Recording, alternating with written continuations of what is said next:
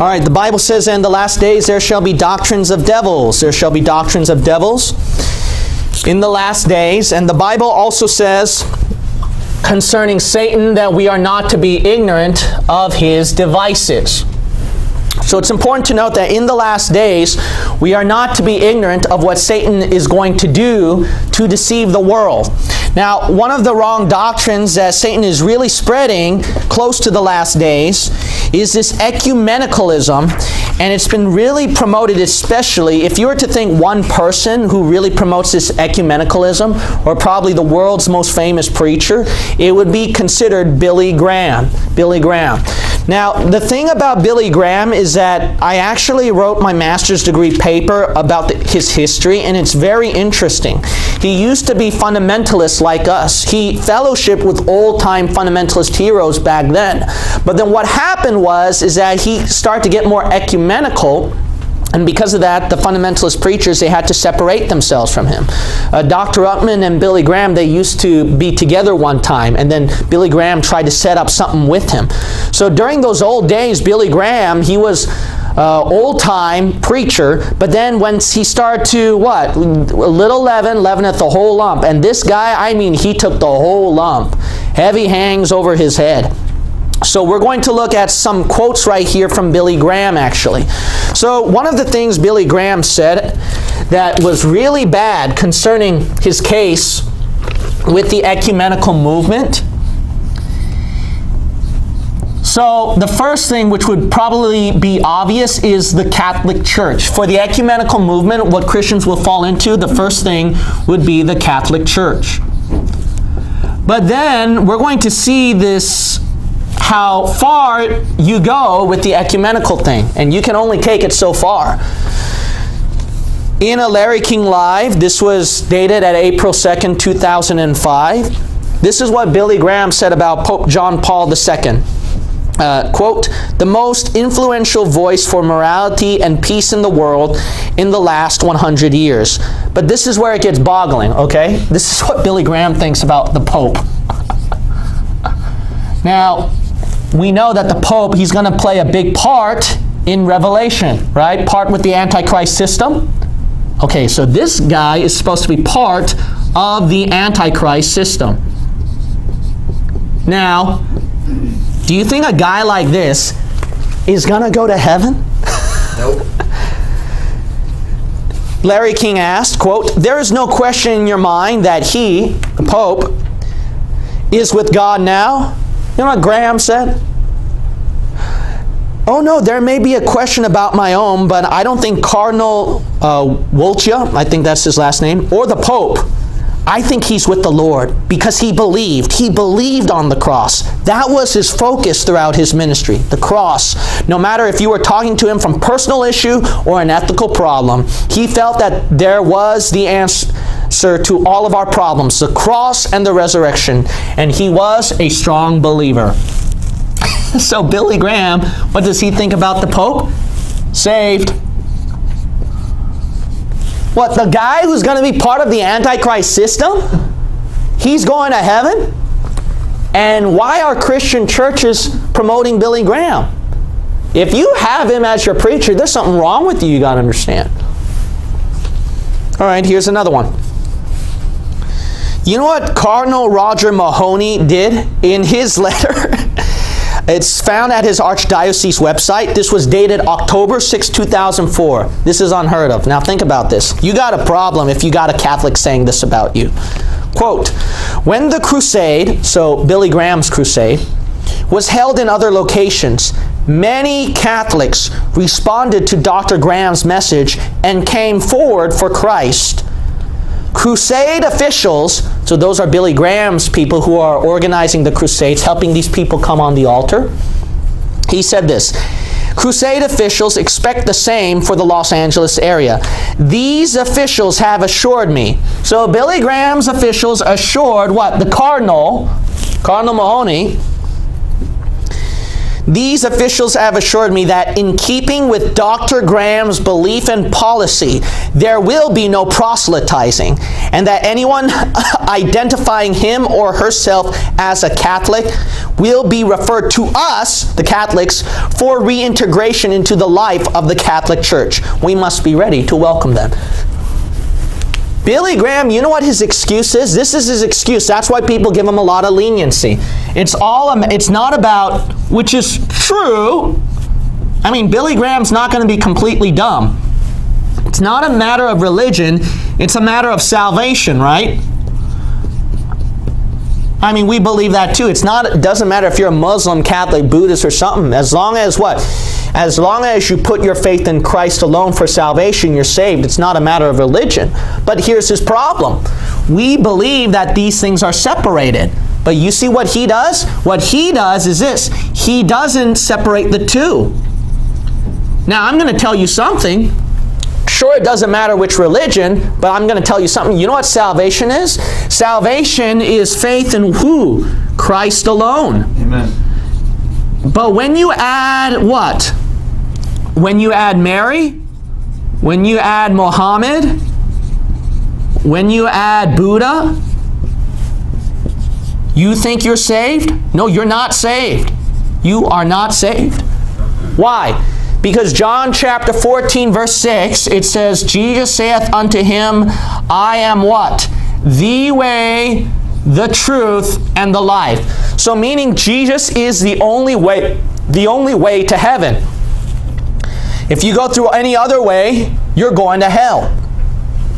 So hit, Billy Graham's excuse is, look, it doesn't matter about religion. I'm just, my point is to make sure they get saved. That's why it fools a lot of people. Well, that's good. But see, his problem is this. When these people are coming down, giving their life to Jesus Christ, supposedly that's their salvation, right? But here in those invitation to salvation, Graham said this, anyone identifying him or herself as Catholic will be referred to us. That's what the cardinal said. The cardinal assured the people, if these Catholics go to the Crusades, they're not going to proselytize them. Don't worry. They're going to refer them to our church. So I'm going to tell you something. When Graham boasts about all these people that got saved, you'd be surprised how many of those numbers are not true then. Amen. They're going to hell. You know why? Because Graham, he doesn't go against Catholicism. People are mixing their belief with their salvation. And if you don't distinguish that, they're going to hell. Amen. They are going to hell, no matter what people say. Okay, this is funny. President Nixon, he was even more. if you're more ecumenical than Nixon, and you're more ecumenical than Bush, don't you think you got a serious issue? Okay, listen to this. This is Graham in his book Just As I Am, page 450. In early December, I left to spend the Christmas holidays visiting our troops in Vietnam. I just got back just in time for the inauguration. Nixon, Nixon wanted me to do all the prayers at the swearing-in ceremony. Yeah, it should be uh, only him, but I objected. Why would Graham object? This is what Graham said. Dick, you've got to have all faiths represented or you're going to have problem. No, I just want you, he insisted. Nixon said, I just want you. Hey, if someone did that to me, I'd be the only one, actually. I wouldn't include any other religion. Eventually, Nixon gave in to the ecumenical idea. Uh, you got a problem, man. You think this guy's a great preacher? No, he's crummy. If you're worse than Nixon, you've got a problem, man. Here's Bush. It's the same book, page 592. At his inauguration in 1989, George Bush invited me to lead the various prayers during the public ceremony. I protested at first, pointing out that it was customary to have a clergy from other traditions participate also, often a Jewish rabbi, a Catholic priest, and perhaps an Orthodox leader. He, Bush, remained adamant, however, saying he felt more comfortable with me. Besides, he added, he didn't want people to think he was just trying to play politics by having representatives of different faiths. You got a problem, man. If you're worse than Bush, you got a problem, man. Here's another thing you got to realize. Before we blame our presidents for really intermingling with the faith, think about this. Maybe that would not have happened if Graham didn't encourage those earlier presidents to do that. So perhaps Billy Graham is the one who's causing the apostasy in America rather than contributing to the spiritual growth of America. Ever thought about that? That word that he stated affected history, you've got to understand, with presidents. He's got a lot to say to God, man. All right, but, okay. Uh, how low can you go, right? How low can you go? Oh, it can get worse, all right? You, you know how far you can go?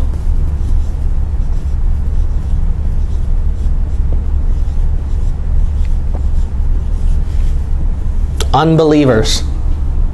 So, yes, people who are not Christians, people who don't believe in the same God. So, this can include atheists who don't believe in God. This can include what? Muslims. This can include Buddhists. Wait, what do you mean, Pastor? What's he going to say? I'm not going to tell you now. I'm going to quote it to you. Listen to what he says about these people. You ready? You can only stoop so low. This is Schuller. Tell me, what do you think is the future of Christianity? Graham. Well, Christianity and being a true believer, listen, true believer, you know, I think there's the body of Christ. This comes from all the Christian groups around the world outside the Christian groups. I think everybody that loves Christ or knows Christ, whether they're conscious of it or not, they're members of the body of Christ. And I don't think that we're going to see uh, that a great sweeping revival that will turn the whole world to Christ at any time. I think James answered that. The Apostle James in the first council in Jerusalem, when he said that God's purpose for this age is to call out a people for his name, and that's what God is doing today. He's calling people out of the world for his name. So here's his point. His point so far is it doesn't have to be Christian. It can be anybody around the world that will be part of the saved body of Christ. He's calling out people out of the world for his name, whether they come from the Muslim world or the Buddhist world or the Christian world or the what? Non-believing world. Did you hear that? Or the non-believing world. Not even people who believe in uh, religions or some sort of God. So yeah, practically atheism you can put in there. They are members of the body of Christ because why? They've been called by God. They may not even know the name of Jesus, but they know in their hearts that they need something that they don't have. And they turn to the only light that they have. And I think that they are saved and that they're going to be with us in heaven. Hogwash! That's at an interview with uh, Billy Graham with Robert Schuller. It was dated at May 31st, 1997. So you know what his point is? His point is, is that everyone has some sort of spiritual thing that they're seeking for in their life. Hey, even atheists too. Atheists would even seek for something, some kind of light that they would go for in their life. And Graham thinks that those kind of people will go to heaven. How far can you go? How far can you go? Look at 2 Corinthians 6. So he calls them, so he says non-believers too, right? He says non-believers. Look at 2 Corinthians chapter 6. We will read verse 14. The Bible completely says the opposite. The Bible says right here, be not unequally yoked together with who? Unbelievers. So God says, don't be yoked with unbelievers. And our unbelievers, look at what Graham said. Graham said unbelievers are seeking after for some light, right? Did, does God think that they're part of the light, these unbelievers? Keep reading. Verse 14, For what fellowship hath righteousness with unrighteousness, and what communion hath what? Light with darkness. So no, God says, no, these guys are not part of the light. Okay, remember what Graham said? They are seeking after Christ, even though they don't know that name. No, keep reading. The verse says, And what concord hath Christ with who? Belial. See? God says no. You know what God says these people are? Darkness and of Satan. Amen. So Billy Graham, you got to avoid that man. That man is worse. This guy is worse than Joel Osteen. This guy is worse than all the false preachers out there. That's how you become the world's most famous pastor. Is become worse than all of them together. So you stay away from this man. This man is teaching a doctrine of the devil. And you know what's really sad is that if you look at his history, he really looked like a saved man. That is evidence right there that a saved Christian can be capable of doing worse things than the worst kind of people. right. This guy is going to be butt naked at the judgment seat of Christ, no matter how many souls he have led to salvation, because he led many more into damnation. He damned America. That man should be preached against. I don't care how old he is, how I should be considerate of his health. Man, that guy, he's got a lot to answer for.